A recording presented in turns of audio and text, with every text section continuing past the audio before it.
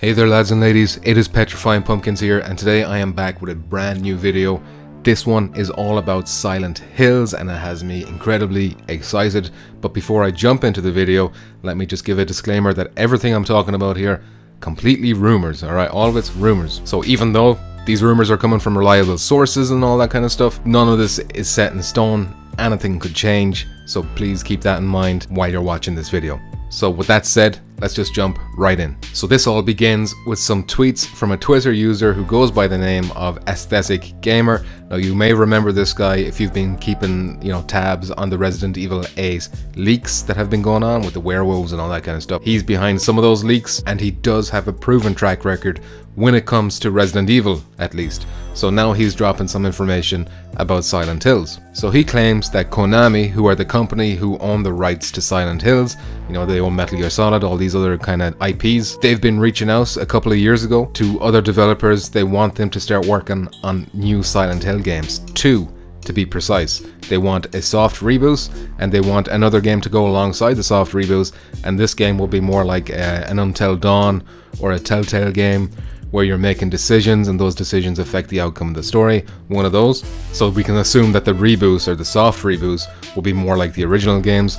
Now just in case you're wondering what exactly a soft reboot is, I would say the best example is probably 2018's God of War. If you've played that, it completely changed how the game was played. It feels completely fresh, completely new, but at the same time, the events of the first three games or the first four or five games, whatever it was, they're all still canon. That didn't change. So in a way, God of War's gameplay got a soft reboot, if you know what I mean. So we don't know what form a soft reboot would take with the new Silent Hill game. It could be that it'll be all first person now and all that. That might constitute a soft reboot in this case. We'll just have to wait and see. So meanwhile, while Aesthetic Gamer's been tweeting this, if you take a look at Hideo Kojima's Twitter, he, not so long ago, tweeted that his next game, or at least he heavily implied that his next game was going to have something to do with horror based on this tweet. We also have the creature designer for the first three Silent Hill games, and he's over on Twitter saying that he's working on a new project that he hopes doesn't get cancelled. Now, there is also a website called Rely on Horror. They cover all kind of horror things, and they claim that they have their own separate source and that these sources are backing up what Aesthetic Gamer is saying. So later, in response to these claims, Konami themselves issued a statement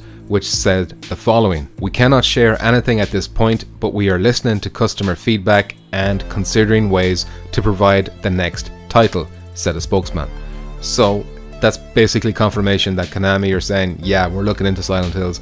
We've got nothing to announce yet, but it is in the pipeline, so you know, keep an eye out on it. So now, more recently, that same website again, Rely on Horror, they've come forward, they've said their insider has given them even more information, and this inside information is claiming that Sony are the driving force behind these two new Silent Hill games. So according to this guy, Sony are putting Hideo Kojima at a table, they're putting Konami at a table, they're trying to smooth out those relations. Of course, famously, Konami, Kojima had a huge fallout back in 2015, so it looks like Sony are coming along, they're trying to smooth that out so that Kojima can get back into Silent Hill. So this insider claims that the story-driven decision-based game is the one that maybe Kojima will be getting, and that this one would be a revival of Silent Hills, which of course is the game that we were all looking forward to back in 2015. Got cancelled, broke my heart. I don't know about E, but that was like I was super hyped about that game. So absolutely disgusted when it got cancelled. So you can you can imagine I'm really really hype about this. I'm hoping it comes true. Of course, keeping in mind that Sony are the driving force behind this, so there's a good chance that these titles will be PS5 exclusives. Not confirmed, of course. Maybe they'll come to Xbox, maybe they'll come to PC, but at least guaranteed PS5 with Sony pushing. So the website Rely on Horror states the following. Our first source, who we've come to trust well, indicates that Keiichiro Toyama, who is the director and writer of the original 1999 Silent Hill, and Akira Yamaoka, composer for the majority of the franchise, are also returning alongside Masahiro Ito. Now, he is the creature designer that I mentioned earlier on. The trio will helm a soft reboot of the Silent Hill series, possibly just called Silent Hill. Sony Interactive Entertainment Japan Studio which possibly includes team members from Project Siren, the group behind Siren Blood Curse for the PS3, also a good game, will be behind its development in some capacity, either in full or in part. Our sources state that this title has been in the works for about a year. The second Silent Hill title referenced in previous rumours is still being worked out at the moment, but it's looking as if it very well could be Silent Hills, Hideo Kojima's famously cancelled title. According to our first source, Sony is working to patch up the relationship between Kojima Productions and Konami in order to resurrect the game due to the amount of buzz and continued demand for it five years after its cancellation. Our second source shared this same information with us in the past, we can now report on it with some confidence in its legitimacy. Now this next part, you're going to want to keep your ears wide open. This is the one that's going to, you know, get you, get you, get your nips hard,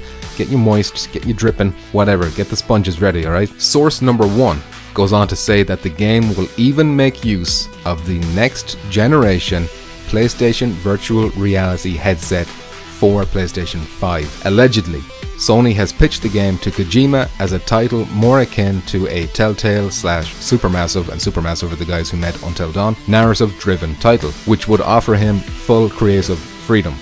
Our source does emphasize, however, that Silent Hills is not yet a done deal, and that for now, the only game in active development is the reboot from SIE Japan Studio. While Sony is pushing for the series comeback, our sources do not say that they're out to own the Silent Hill IP. Sony and Konami are working together on these titles. So, according to these rumors, Sony are working together with Konami to get a Silent Hill title up and running on a PlayStation VR headset and might not be the one that we're using right now. It's probably going to be the next gen PSVR headset. Well, I assume it won't be compatible with what we have now. But anyway, that to me is just the hypest shit ever. The hypest thing you can imagine is Silent Hills on a next gen PlayStation virtual reality headset. Now, reading this, it's not very clear to me which two titles is going to be the one that's going to PlayStation Virtual Reality. Uh, maybe you guys can read it better than I can and, and can figure that out. But to me, it, seems to like it could be either or, or maybe both.